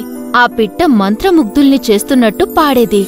రోజా రాకుమారి కూడా జతకట్టి పాడేది. దాంతో రాజ్యంలోని ప్రజలందరూ నిద్రపోయేవారు. సూర్యోదయం వరకు తీపి కలలు కంటూ ఉండేవారు. అనేక సంవత్సరాల పాటు ఇది కొనసాగింది. సూర్యాస్తమయం అయిన తర్వాత రోజా రాకుమారి బంగారు పెట్ట మైమరిపించే పాటలు పాడుతూ ఉండేవారు. ఆ పాటలకు ప్రజలంతా తీపి కలలు కంటూ సూర్యోదయం వరకు నిద్రపోతూ ఉండేవారు. ఒకరోజు అనుకోకుండా ఏదో ఒక భయంకరమైన సంఘటన జరిగింది. ఒక దుష్ట మంత్రగత్తె రోజా రాకుమారి గురించి తెలుసుకొని తనని శపించాలని నిర్ణయించుకుంది. ఓ బుట్టలో మొక్క ప్రకాశం నుంచి చీకటిగా రోజా రంగు ఉదాసీనంగా మారాలి. దాంతో రోజా రాజకుమారి జుట్టు ఒక్కసారిగా నల్లగా మారిపోయింది. రోజా రాజకుమారికి ఇలా నల్లగా ఎందుకు మారిందో తెలియలేదు. ఎప్పట్లాగే ఆమె బాల్కనీలోకి వెళ్ళి చప్పట్లు కొట్టింది. కాని ఈసారి బంగారు పెట్ట ఆమె భుజంపైన వాలినప్పుడు రాకుమారి జుట్టు ఎర్రగా కాక నల్లగానే ఉండిపోయింది. బంగారు పెట్ట పాట పాడింది. రాకుమారి కూడా తన వంతు పాట పాడింది. రాజ్యంలోని ప్రజలందరూ నిద్రపోయారు. అయితే ప్రజలు రాత్రంతా చెడు కలలు పీడకలలతో నిద్రపోయారు. ఆ తర్వాతి రోజు రాకుమారి బాధపడుతూ బంగారు పిట్టని సహాయం అడిగింది. ఓ బంగారు పిట్ట? సూర్యోదయం వరకు నా ప్రజల పీడకలల్ని మంచి కలలుగా ఎలా మార్చాలో చెప్పు. నల్లటి చెట్టుని రోజా వాటల్లో ముంచు. బంగారు పిట్ట చిలిపిగా సమాధానమిచ్చింది. రాకుమారి దాన్నొక వింత సలహాగా భావించినప్పటికీ అదొక అద్భుత పిట్ట కాబట్టి ఎలాగోలా దాన్ని అనుసరించింది. ఒక తొట్టిలో నీళ్ళు నింపి అందులో రోజా పువ్వు రెక్కలను వేసింది. ఆ తర్వాత తన జుట్టుని ఆ నీళ్ళల్లో ముంచింది. అది వెంటనే ఎర్రగా మారిపోయింది. ఆ రోజు సాయంత్రం బంగారు పెట్ట ఆమె భుజంపైన వాలినప్పుడు ఎర్రని జుట్టు ఆకాశాన్ని ఎర్రగా ప్రకాశింపచేసింది. రాకుమారి తన లాలిపాట పాడగా రాజ్యంలోని ప్రజలందరూ యథాప్రకారంగా తీపి కలల్లో తేలుతూ హాయిగా నిద్రపోయారు. ఆమె శాపం ఫలించలేదని ఆ పాపిష్టి మంత్రగత్తెకి చాలా కోపం వచ్చింది. మరోసారి తన దుష్టశక్తిని రాజకుమారిపైన ప్రయోగించాలని నిర్ణయించుకుంది. ఓ బుట్టలో మొక్క ప్రకాశం నుంచి చీకటిగా రోజా రంగు ఉదాసీనంగా మారాలి. దాంతో రాజకుమారి జుట్టు తారు రంగులోకి మారిపోయింది. అయితే ఈసారి మంత్రగత్తె తన ఎగిరే చీపిరిపైన వేగంగా వెళ్తూ రాజ్యంలో వికసించిన రోజాలన్నిటినీ దొంగిలించింది. ఇప్పుడు నా శాపాన్ని నువ్వెలా దెబ్బతీస్తావో చూస్తాను. అంటూ కోపంగా అక్కడి నుంచి వెళ్ళిపోయింది బాధపడుతున్న రాజకుమారి మరోసారి బంగారు పిట్టని సహాయం కోరింది. ఓ బంగారు పిట్ట? సూర్యోదయం వరకు నా ప్రజల పీడ కలల్ని మంచి కలలుగా ఎలా మార్చాలో చెప్పు. నల్లటి చెట్టుని రోజా వాటర్లో ముంచు. అని చిలిపిగా సమాధానమిచ్చింది. కానీ ఆ రోజాల్ని నేనెక్కడి నుంచి తీసుకురాగలను? రోజా నీళ్ళలో నల్లటి చెట్టు. ఆ పిట్ట చిలిపిగా చెప్పి ఎగిరిపోయింది. రాజకుమారికి ఏం చేయాలో తోచలేదు.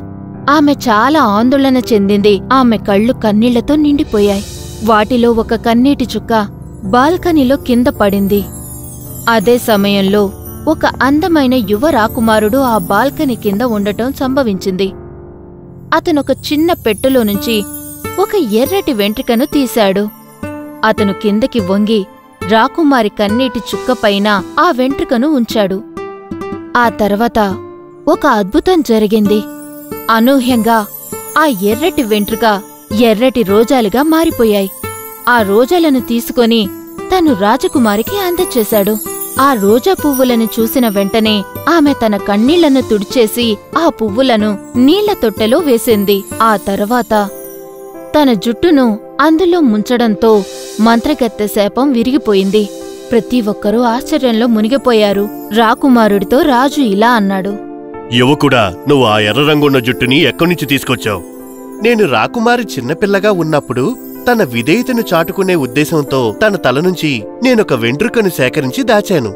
రాకుమార్ కూడా అలాగే తన తల నుంచి ఒక వెంట్రుకను తీసి దాచి ఉంచింది. అవును అది నిజమే నాన్నా. రాజకుమారి దాన్ని ధృవీకరించి ఒక చిన్న పెట్టెను తీసుకొచ్చింది. రాకుమారుడి తల నుండి తీసిన వెంట్రుకను బయటకు తీసి అందరికీ చూపించింది. ఈ విషయం విని అందరూ సంతోషించారు. వారిద్దరూ ఏదో ఒకరోజు పెళ్ళి చేసుకుంటారన్న విషయం వారిద్దరికీ తెలుసు. అన్ని వెంట్రుకలు సరైన రంగుకు రాగానే ఆ రోజే తను పెళ్ళి చేసుకోవాలని రాకుమారుడు అడిగాడు. తన శాపం మళ్ళీ విరిగిపోయిందని మంత్రగత్తెకి తెలిసింది. దాంతోపాటు తన దుష్ట ఉద్దేశం వల్లే అద్భుతమైన విషయం జరిగిందని అర్థం చేసుకుంది. విపరీతమైన కోపం వల్ల ఆమె గుండె ఊపిపోయింది. ఒక్కసారిగా ఆమె గుండె వెయ్యి ముక్కులుగా అయిపోయింది. రాకుమారి కన్నీటి చుక్క నుండి పుట్టిన రోజా పెరుగుతూ పెరుగుతూ రాజ్యమంతా వ్యాపించి వికసించడం మొదలుపెట్టాయి. రాకుమారి ఎర్రటి జుట్టు వల్లే రోజాలు అంత ఎర్రటి రంగుతో మెరిసిపోతూ ఉండేవి. ఇక ప్రతి రాత్రి రాకుమారుడు రాజకుమారి బాల్కనీలో కలుసుకుంటూ ఉండేవారు.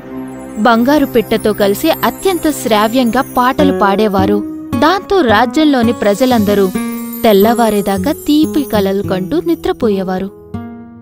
శుభం.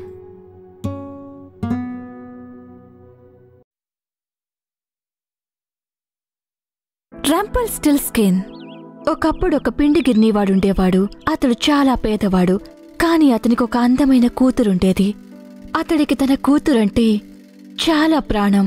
తనకి తన కూతురు మహారాణి అవ్వాలని కోరికుండేది. ఒకరోజు రాజా దారిలో వెళ్తున్నాడు. రాజా అతని కూతుర్ని కొలను దగ్గర బట్టలు ఉతుకుతుండగా చూశాడు. హో ఆమె ఎంత అందంగా ఉంది. రాజా ఆమెను చూసి అనుకున్నాడు. ఆమె దగ్గరకొచ్చి గట్టిగా నీ పేరేంటి? ఆ అమ్మాయి తన పేరు చెప్పేలోపు తన తండ్రిలా సమాధానమిచ్చాడు. తరుడా కూతురు తరేడా కూతురు. ఈమె లాంటి అందగత్తెరు మీరు చూసి ఉండరు. రాజు వారిద్దరిని ఆసక్తిగా చూశాడు. తన అందమైన బూడిద రంగు గుర్రంపై నుంచి నిజమే ఆమె చాలా అందమైన ముఖం కలది. అని అన్నాడు. ఇది విని ఆమె తండ్రికి గర్వంగా అనిపించింది. నిజమే నిజమే. నిజానికి ఆమె తన ముఖాను కంటే కూడా చాలా విలువైనది. హ. అతడలా అన్నాడు. నీ ఉద్దేశం ఏంటి మిల్లర్?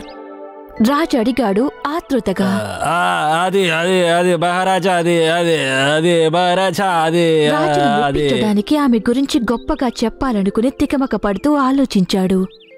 రాజు అలానే చూస్తున్నాడు. అతడు రాజు కళ్ళల్లోకి చూస్తూ అటూ ఇటూ చూశాడు. ఆ పక్కన కొన్ని కోళ్ళు గింజల కోసం వెతుక్కుంటున్నాయి. అది అది అది నా కూతురు పచ్చగడ్డిని బంగారంలో వడకగలదు. అని రాజుకి గట్టిగా నమ్మకంగా చెప్పాడు. కాని నాన్న! ఆమె కూతురు తండ్రి అబద్ధపు మాటలకు బెదిరిపోయింది. అయితే నిజంగానే చాలా అరుదైన అమ్మాయి. అలా అని రాజు నవ్వాడు.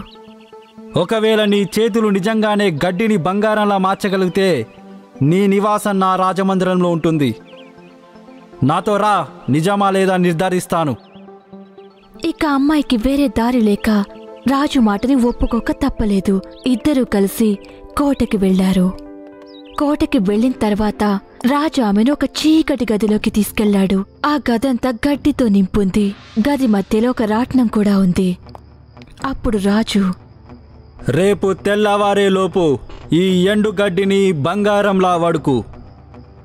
కానీ నువ్వు అలా చేయకపోతే మీ నాన్న నాతో అబద్ధం చెప్పినట్లయితే మీ ఇద్దరూ చనిపోతారు.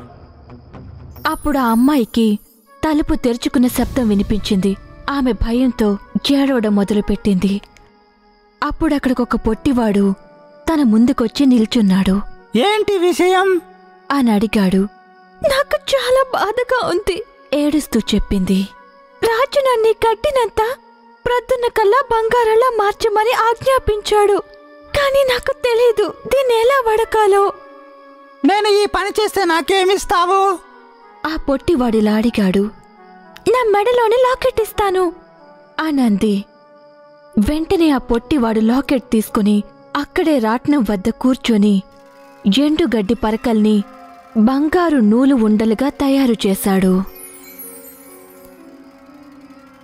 ప్రొద్దున్నే సూర్యోదయం కాగానే రాజొచ్చి తలుపు తీశాడు. లోపలంతా తన చుట్టూ బంగారాన్ని చూసి చాలా ఆనందించాడు. కాని తన భాండాగారం నిండకపోవడంతో సైనికులకి జీతాబత్యం ఇవ్వటానికి ఇంకా బంగారం కావాలి కనుక ఆ రాజు మిల్లర్ కూతుర్ని ఇంకొంచెం పెద్ద గదిలోకి తీసుకువెళ్ళాడు. అక్కడున్న గడ్డినంతా తెల్లవారే వరకు బంగారలా మార్చమని చెప్పి వెళ్ళిపోయాడు. ఆ రాత్రి మళ్ళీ ఆమె ఏడవడం మొదలుపెట్టింది. ఆ పని చాలా కష్టమని తనకి తెలుసు. కాని మళ్ళీ ఆ పొట్టివాడు కనిపించాడు. కనపడిలా అన్నాడు. నేను ఈ గడ్డినంతా బంగారంలో వడికితే నువ్వు నాకేమిస్తావు? నా నడు మీదున్న బెల్ట్నిస్తాను అని ఆమె అన్నది. ఆ పొట్టివాడ బెల్ట్ని తీసుకొని రాట్నంతో ఆ గడ్డినంతా బంగారంలా మార్చి బంగారపు దారాన్ని ఉండలుండలుగా వదికి ఆ గదినంతా నింపేశాడు. గడ్డి ఎక్కడా కూడా మిగల్లేదు. రాజుది చూసి చాలా సంతోషపడ్డాడు. తన కోశాగారంలో కొంచెమే బంగారం ఉందని తెలిసి రాజు తన రాజ్యాన్ని పరిపాలించడానికి అతని అతిపెద్ద గది నిండా గడ్డితో నింపి ఆమెను అందులోకి పంపాడు. ఒకవేళ నువ్వీ రాత్రి బంగారాన్ని వడికితే తానన్నాడు. నిన్ను నా రాణిగా చేసుకుంటాను. మళ్ళీ జీవితంలో నీకీ వడికే బాధ ఉండనే ఉండదు. అమ్మాయి ఒంటరిగా ఉన్నప్పుడు మళ్ళీ ఆ పొట్టివాడొచ్చి ఇలా అడిగాడు. నేను మళ్ళీ ఈ గడ్డిని వడికితే నాకేమిస్తావు? నీకివ్వడానికి నా దగ్గర ఏమీ లేదు అని చెప్పింది. అయితే నువ్వు నాకు మాట ఇవ్వు నువ్వు రాణివైన తర్వాత నీకు పుట్టిన మొదటి బిడ్డను నాకు ఇస్తానని అని అన్నాడు. ఆ లోపు చాలా విషయాలు జరుగుతాయిలే అని ఆ అమ్మాయి అనుకుంది. అతనికి మాటిచ్చింది ఏమడిగినా ఇస్తానని. ప్రొద్దున్నే రాజొచ్చి చూసేసరికి గదంతా బంగారం కనిపించింది. ఓ అందమైన అమ్మాయి నువ్వు నా కోసం మూడు రాత్రులు చాలా బంగారాన్ని వడికావు. నాకిది మూడు యుగాలైనా నేను వడకలేను. నీ కళ నీ అందానికి సరిగ్గా సరిపోయింది. నువ్వు నన్ను పెళ్ళి చేసుకుంటావా? ఆ అమ్మాయి ముందుగానే రాజును ప్రేమించింది కనుక వాళ్ళిద్దరూ పెళ్ళి చేసుకున్నారు. త్వరలోనే ఆమె ఒక బాబుకి జన్మనిచ్చింది. ఆమె పొట్టివానికి మాటిచ్చిన విషయం మర్చిపోయింది. కాని ఒకరోజు అతడు తిరిగొచ్చి ఇలా అన్నాడు. నాకిచ్చిన మాట ప్రకారం నీ బాబుని నాకివ్వు. కాని రాణి బెదిరిపోయింది. తన దగ్గరున్న బంగారమంతా తీసుకోమని వేడుకుంది. కాని అతను వినలేదు. ఇలా అన్నాడు. బాబు నీ దగ్గర లేనందువల్ల చాలా బాధపడుతున్నావు. కనుక అతన్ని కాపాడుకోవడానికి నీకు ఒక అవకాశం ఇస్తాను. నేను నీకు మూడు రోజుల గడువు ఇస్తాను. ఈలోగా నా పేరును గుర్తించి చెప్పు. అలా చెప్పగలిగితే నీ బాబు నీ దగ్గరే ఉంటాడు. ఆ రాణికి రాత్రంతా నిద్ర పట్టలేదు. తనకు తెలిసిన అన్ని పేర్లు గుర్తు తెచ్చుకుంది. ఆ తెల్లారి అతడు తిరిగొచ్చాడు. ఆమె నిగ్గులెస్ టిమిటీ హెయిర్ వాల్డ్ అనేక పేర్లతో అతన్ని పిలిచింది. కాని ప్రతిసారి ఇలా చెప్పాడు. కాదు అది నా పేరు కాదు. ఆ మరుసటి రోజు రాజు గ్రంథాలయంలో ఉన్న పుస్తకాలన్నిటినీ చదివింది. సహజంగా లేని పేర్లని గుర్తుకు తెచ్చుకుంది. తను చెప్పింది నీ పేరు నిమ్రాడ్ ఆర్ నోహార్ ఆర్ మార్మిడ్యూక్ కాని అతను ప్రతిదానికి నెమ్మదిగా నా పేరు అది కాదు. మూడవ రోజు వారి సైనికులని రాజ్యమంతా పంపించింది. ప్రజలు వారి వారి పిల్లలను ఏ పేర్లతో పిలుస్తారో తెలుసుకురమ్మని. చివరికి ఒక సైనికుడు వెనక్కి తిరిగొచ్చి ఇలా చెప్పాడు. మహారాణి నాకు ఏ కొత్త పేర్లు దొరకలేదు. కానీ ఎత్తైన కొండపైన ఎక్కడా నక్కలు కుందేళ్ళు కూడా వెళ్ళలేని ప్రదేశంలో. అక్కడ ఒక పొట్టివాడు డాన్స్ చేస్తూ పాట పాడుతూ మంట చుట్టూ తిరగడం నేను చూశాను. ఆ నా పేరు ఎవరికి తెలియదు? ఆ నా పేరు ఎవరికి తెలియదు? అదే Rumpelstiltskin Rumpelstiltskin Rumpelstiltskin. అదే నా పేరు. ఇది విన్న మహారాణికి చాలా ఆనందం కలిగింది. ఆ రోజు మళ్ళీ ఆ పొట్టి మనిషి వచ్చాడు. ఆమె ముందు ఇలా అన్నది నీ పేరు రోజర్? కాదు. అయితే నీ పేరు రాబర్ట్. కాదు. అయితే తప్పకుండా రంపల్ స్టిల్ స్కిన్. అవునది దయ్యం అవునది దయ్యం. అలా బిగ్గరగా నవ్వుకుంటూ వెనక్కి అడుగులు వేసి రెండుగా విడిపోయాడు.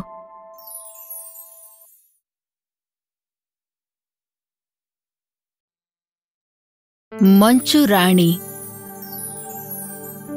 గెరిడ ఒక అందమైన యువతి. ఆమె తన అమ్మమ్మతో కలిసి ఉంటుంది. ఆమె కాబోయే భర్త పొరుగింట్లోనే ఉంటాడు. అతని పేరు కే. గెరెడా ఇంటికి కే ఇంటికి మధ్య ఒక చిన్ని కాలిబాట ఉంటుంది. గెరెడా కేలు అక్కడ తమ శాశ్వత ప్రేమకి గుర్తుగా ఎర్ర గులాబీ మొక్కల్ని నాటారు. వాళ్ళు ఎప్పుడూ పెళ్ళి చేసుకోవటం గురించే మాట్లాడుకుంటూ ఉండేవాళ్ళు ఒక శీతాకాలం రోజున వాళ్ళు తమ గులాబీ పొదల పక్కన కూర్చుని ఉండగా గ్రేడా అమ్మమ్మ ఇలా అరిచింది. చూడండి మంచురాణి తన మంచు తునకల్ని పోగు చేసుకుంటోంది. గెరడా కేలు కిటికీ దగ్గరికి పరిగెత్తారు. కే ఆ కిటికీ గుండా మంచురాణి వైపు చూశాడు. నాలుక బయటపెట్టి వెక్కిరించాడు. అలా చెయ్యకు కే. ఆమె నిన్ను చూస్తే ఆమె నీ మీదకి రావచ్చు. తర్వాత అతను గెరడా ఇంటి పక్కనే ఉన్న అతని ఇంటి కిటికీ గుండా తన పడక గదిలోకి వెళ్ళిపోయాడు. ఆ రాత్రి కే నిద్రపోటానికి సిద్ధమవుతున్నాడు. కిటికీ దగ్గరికి వెళ్ళి బయటికి తొంగి చూశాడు. అక్కడ ప్రత్యేకంగా కనిపిస్తున్న ఒక మంచు తునకని చూశాడు. అది ఇంకా ఇంకా పెద్దగా మారటం గమనించాడు. చివరికి అది మంచురాణిగా మారిపోయింది. ఆమె తన చేతిలో టర్కిష్ డిలైట్స్ అనే మిఠాయిలు ఉన్న ఒక పళ్ళెం ఉంది.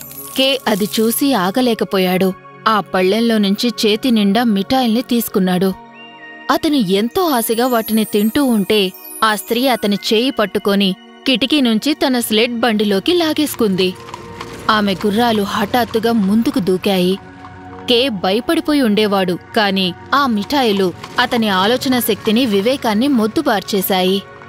ఆ మర్నాటి ఉదయం గెరడా కేని కలవడానికి వచ్చేసరికి అతను అక్కడ లేడు. అతని కోసం ఆమె అన్ని చోట్లా వెతికింది. గ్రామం ప్రధాన కూడలి దగ్గరికి పరిగెత్తింది. గట్టిగా అరిచింది. నువ్వు కేని చూసావా? మీరు నా కేని చూసారా? అతన్ని ఎవరూ చూడ్లేదు. ఎక్కడికి వెళ్ళాడో ఎవరికీ తెలీదు. కే చనిపోకూడదు భగవంతుడా. కే చనిపోకూడదు. నేనైతే అతను చనిపోయాడనుకోవడం లేదు. గెరెడా పైకి చూసింది. అక్కడొక చిన్ని పిచ్చుక కూర్చొని ఉంది. మేము ఆహారం కోసం వెతికే సమయంలో ఇళ్ళ పైకప్పుల మీద కూర్చుంటాము. మాకన్నీ కనిపిస్తాయి. అతను మాకు కనిపించి ఉండును. నదిలో పడిపోతే తప్ప. నేను వెళ్ళి ఆ నది దేవతను అడుగుతాను. గెరెడా గుండెల్లో ఒక చిన్ని ఆశ పుట్టింది. అతను నీళ్ళల్లో మునిగిపోయి ఉంటే నది దేవతకు తెలుసుంటుంది.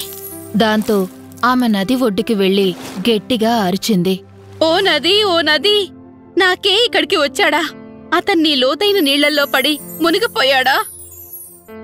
నదీ దేవత ముఖం మీద చక్కటి చిరునవ్వుతో నీటి నుంచి బయటికొచ్చి ఇలా అనింది. ఓ నా బుజ్జి పాప లేదు నీకే ఇక్కడికి రాలేదు. ఎడవకు మరి అతను ఎక్కడున్నాడు నాకు తెలియదు. కానీ అక్కడ ఒక ముసలి మంత్రగత్తె ఉంది. ఆమె నా తీరం మీదే జీవిస్తోంది. ఆమె నీతో ఉదారంగానే ఉండొచ్చు కానీ ఆమెతో నువ్వు జాగ్రత్తగా ఉండాలి.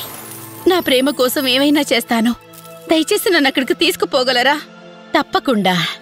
ఈ చిన్ని పడవలో ఎక్కు. నా ప్రవాహాలు నిన్ను ఆ మంత్రికత్తె కుటీరానికి చేరుస్తాయి. తర్వాత ఆ నదీ దేవత మాయమైపోయింది. గెరడ పడవలోకి ఎక్కింది. ప్రవాహ వేగం ఇంకా ఇంకా పెరుగుతూ ఉంటే ఆ చిన్ని పడవ తేలుతూ ముందుకు వెళ్ళింది. ఇంతలో గెరడ ఒక చిన్న కుటీరాన్ని చూసింది. తడబడుతూ నడుస్తూ ఉన్న ఒక ముసలావిడ బయటకొచ్చింది. ఆమె ముందుకి వంగిపోయింది. ఒక కర్ర సహాయంతో నడుస్తూ ఉంది. ముసలామె నడుచుకుంటూ నది ఒడ్డుకి వచ్చింది. తన చేతిలోని కర్రతో పడవని పట్టుకొని దాన్ని ఒడ్డుకి లాగింది. గెరడా దిగేందుకు సహాయం చేసింది. గెరడా ఆ పరిచయం లేని ముసలి మంత్రిగత్తని చూసి ముందు భయపడింది. కాని ఎలాగైనా కేని తిరిగి పట్టుకోవాలని పట్టుదలతో ఉంది. ఇలారా నువ్వెవరివో చెప్పు. గెరడా ఆమెకి అన్ని విషయాలు చెప్పేసింది. నువ్వు నాకేని చూసావా? లేదు. కాని బహుశా అతనిక్కడికి రావొచ్చు. వాళ్ళు కుటీరం లోపలికి వెళ్ళారు అక్కడ బల్లా మీద ఒక గిన్నెలో చక్కటి పళ్ళున్నాయి. బాధపడకు గెర్డా. నీ ప్రేమే నీకు మార్గాన్ని చూపిస్తుంది. ఇప్పుడు నువ్వు ఈ పళ్ళు తిను. గెరడ ఆ పళ్ళు తింటూ ఉంటే ముసలామె ఒక బంగారు దువ్వెనతో ఆమె పొడవాటి జుట్టుని దువ్వసాగింది. దువ్వుతూ గుసగుసగా ఇలా అనింది. నీలాంటి ఒక మనవరాలి కోసం నేను ఎంతో కాలంగా ఎదురు చూస్తున్నాను గెరడా కే గురించి మర్చిపోయింది. ఎందుకంటే ముసలామె తన మంత్రాల దువ్వెన ద్వారా ఒక మాయని ప్రయోగించింది. ఆ ముసలి మంత్రగత్తె గెరడాని తన దగ్గరే ఉంచుకోవాలనుకుంది. కొద్దిసేపటికి గెరడా నెమ్మదిగా ఇలా అనింది. ఇక ఎప్పటికీ ఇక్కడే ఉండిపోతాను. కాని ఒకరోజు తోటలో ఉన్న సమయంలో గెరడా ఎర్ర గులాబీ పూలను చూసింది. అవి ఆమెకి కేని గుర్తు చేశాయి. కే జ్ఞాపకం ముసలామె మంత్ర ప్రభావాన్ని విరిచేసింది. గెరడ తోట ద్వారం దగ్గరికి పరిగెత్తింది. ఇక అడుగు ముందుకు పడనంత వరకు పరిగెత్తింది. ఒక రాతి వంతెన మీద ఆగింది. హఠాత్తుగా ఆమెని ట్రోల్స్ ముట్టడించాయి. ట్రోల్స్ వేగంగా ముందుకొచ్చి గెరడాని బంధించారు. ఈమె చక్కగా కొవ్వు పట్టి ఉంది. బాదం జీడిపప్పులు తిని తిని పెరిగింది. ఆమె ఎంత రుచికరంగా ఉంటుందో. ఆమె నాతో ఆడుకుంటుంది. తన మఫ్లర్ని అందమైన గౌనుని నాకిస్తుంది. సుమారు గెరడా వయసు ఉన్న ఆ చిన్ని ట్రోల్ పిల్ల ముఖాన్ని విషాదంగా పెట్టిన ఆ చిన్ని గెరడా నడుం చుట్టూ చెయ్యి వేసి తనతో ఇలా అనింది. వాళ్ళు నిన్ను చంపరు. నేను నిన్ను కాపాడుతాను. ట్రోల్స్ అందరూ నవ్వేశారు. గెరడాకి ఒక ట్రోల్ పిల్లనివ్వడానికి అంగీకరించారు. గెరడా తన కథని ఆమెకి వివరించింది. తనకి కే అంటే ఎంత ఇష్టమో అతనెందుకు కనిపెట్టాలో చెప్పింది. వాళ్ళు కడుపు నిండా తిని తాగిన తర్వాత రాతి వంతెన కింద నడుస్తున్నారు. వాళ్ళ పైన ఒక వందకు పైగా పావురాళ్ళు నిద్రపోతున్నట్టుగా నటిస్తూ వారి మాటలు వింటున్నాయి. మేము నీ కేని చూస్తున్నాం. ఎక్కడా? మంచురాని గుర్రబండిలో ఉంది. వాళ్ళెక్కడికి వెళ్తున్నారు? ల్యాప్లాండ్. మంచురానికి అక్కడ ఒక కోట ఉంది. చిన్ని ట్రోల్ పిల్ల చాలా గంభీరంగా కనిపించింది. తల ఆడిస్తూ ఇలా అనింది. నువ్వు ప్రేమించిన వాణ్ణి కలుసుకోవడానికి నేను సాయం చేస్తాను.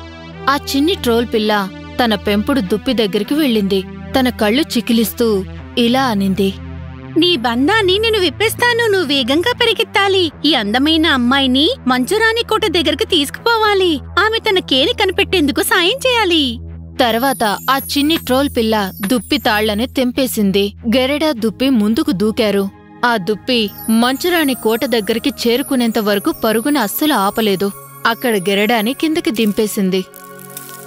నువ్విక్కడి నుంచి ఒంటరిగా వెళ్ళాలి. నువ్విక్కడికి తిరిగి వచ్చేసరికి నేను ఇక్కడే ఉంటాను. నిన్ను అలాగే నువ్వు ప్రేమించిన వాణ్ణి సురక్షితంగా ఇంటికి చేరుస్తాను. గెరడా నడుచుకుంటూ మంచురాణి ఎత్తైన మంచుకోట దగ్గరికి చేరుకుంది. హఠాత్తుగా వేలాది మంచు తునకలు ఆమెను చుట్టుముట్టి చుట్టూ ఎగరసాగాయి. అవి మంచురాణి సైనికులు. గెరడ ప్రార్థించింది చల్లదనం ఎంత ఎక్కువగా ఉందంటే ఆమె తన వదిలిన ఊపిరిని కూడా చూడగలుగుతుంది. ఆమె నోటి నుంచి ఆవిరి బయటికొస్తుంది. ఆమె తన ప్రార్థన కొనసాగిస్తున్న కొద్దీ ఆవిరి పెరుగుతున్నట్టుగా కనిపించింది. చివరికి అది చిన్న దేవదూతల రూపం దాల్చింది. గెరడా తన ప్రార్థన పూర్తి చేసేసరికి మొత్తం ఒక సైనిక దళమే ఆమె చుట్టూ నిలబడి ఉంది. మంచు తునకల మీద దాడి చేశారు. పోరాటం మొదలైంది. గెరడా గబగబా మంచురాణి కోటలోకి పరిగెత్తింది. ఆ మంచు గోడల మధ్యలో ఉన్న కేని కనిపెట్టింది. కే ఓ నా ప్రియా కే చివరికి నిన్ను కనిపెట్టాను. కే దాదాపుగా గడ్డకట్టుకుపోయాడు. తన తల నుండి కాలి వరకు నీలంగా మారిపోయాడు. టర్కిష్ డిలైట్ మిఠాయికి ఎంతగా అలవాటు పడిపోయాడంటే అతనికసలు ఇంకే రుచి తెలియడం లేదు. అంతకాలం మంచురాణి తనకి మిఠాయిలతో పాటుగా దారుణమైన శక్తివంతమైన మాయల్ని తినిపిస్తోంది. గెరిడ అతన్ని కౌగిలించుకొని ఏడ్చేసింది. ఆమె వెచ్చని కన్నీళ్ళు అతని ఛాతి మీద పడి హృదయంలోకి దూకాయి. మంచులా గట్టుకట్టుకుపోయిన కే హృదయాన్ని కదిలించాయి. అతని శరీరంలోకి వెచ్చదనం తిరిగి వచ్చింది. గెరడాని గుర్తుపట్టి సంతోషంగా ఇలా అరిచాడు. గరుడా ఇంతకాలం నువ్వు ఎక్కడికి వెళ్ళిపోయావు? కే నీకోసమే వెతుకుతున్నాను ప్రియతమా. చివరికి కనిపించావు. వాళ్ళు ఒకరినొకరు కౌగిలించుకొని సంతోషంతో నవ్వుకున్నారు ఏడ్చారు. విధేయత కలిగిన దుప్పి వాళ్ళ కోసం ఎదురు చూస్తుంది. వాళ్ళు రావటం చూసి మోకాళ్ళ మీద కూర్చొని వాళ్ళని మీదకి ఎక్కించుకుంది. తమ కళ్ళల్లో ఆనందం కృతజ్ఞతలు గంతులేస్తుండగా వాళ్ళు పరుగు పరుగున ఇంటికి చేరుకున్నారు. త్వరలోనే పెళ్ళి చేసుకుని కలకాలం సంతోషంగా జీవించారు. శుభం.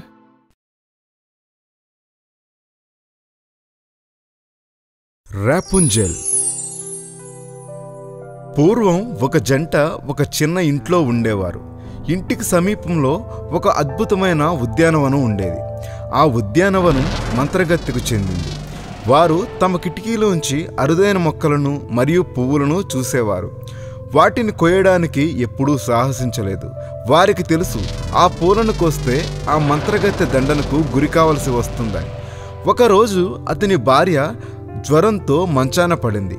తను చనిపోయేలా ఉంది. తను ఆ పరిస్థితిలో ఉన్నప్పటికీ ఒకే ఒక కోరిక కోరింది. అది ర్యాంపియన్ అనే మొక్క ఆకుల గురించి అది ఆ మంత్రగత్తి ఉద్యానవనంలో ఉంది. భర్త భార్యను చాలా ప్రేమించేవాడు. తన కోసం దేనికైనా తెగించి మంత్రగత్తె ఉద్యానవనం గోడ దూకి ఆకులు కోసుకొని ఇంటికి తిరిగొచ్చి భార్యకు చూపించాడు. తను కోలుకుంది. కానీ ఎంతో సమయం పట్టలేదు. తను రోగం బారిన పడటానికి. కానీ ఈసారి తనకి మొక్క యొక్క వేరు కావలసింది. సంధ్యవేళలో తను మళ్ళీ ఉద్యానవనపు గోడ దూకి మొక్కను వేరుతో సహా పెకిలించాడు.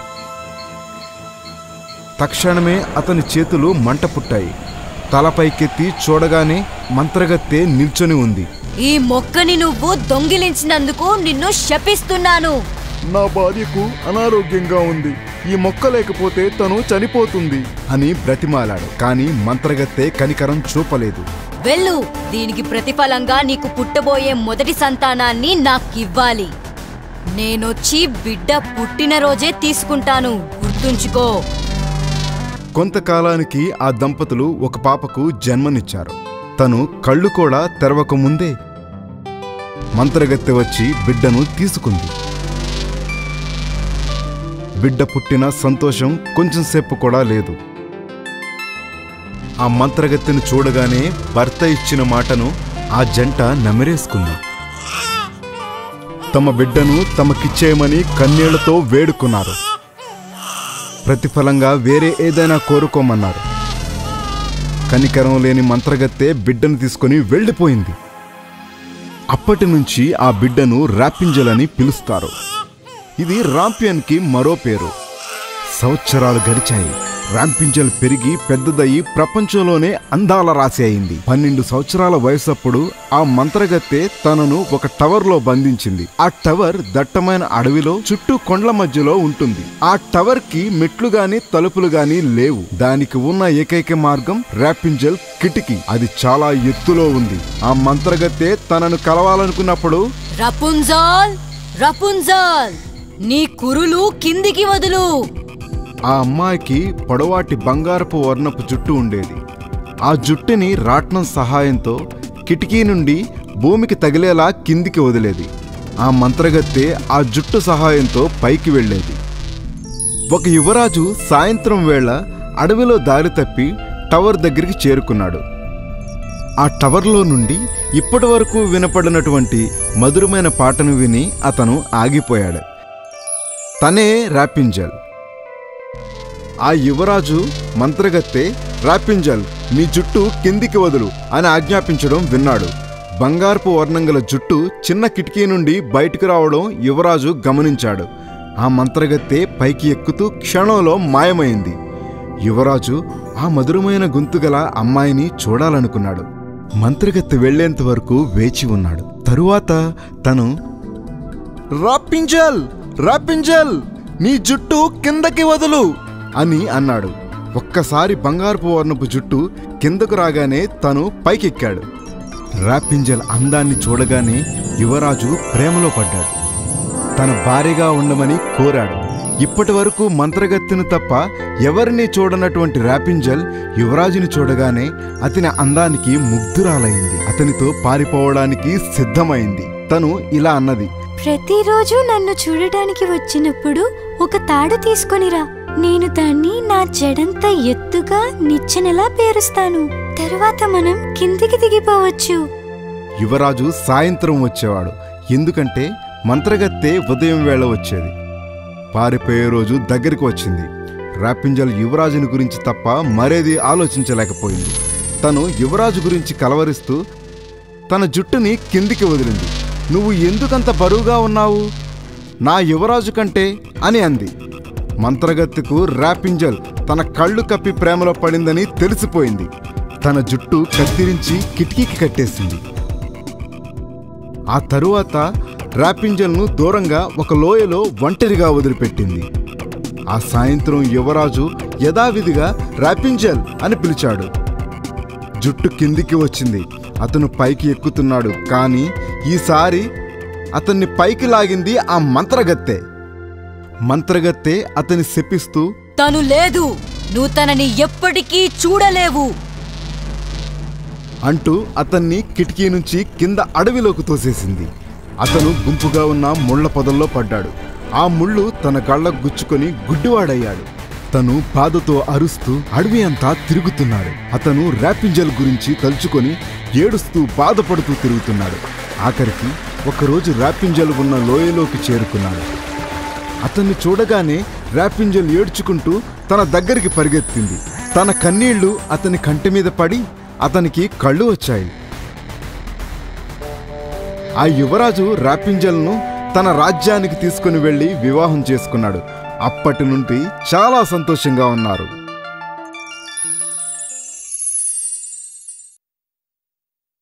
చిరునవ్వే ఎరగని రాజకుమారి.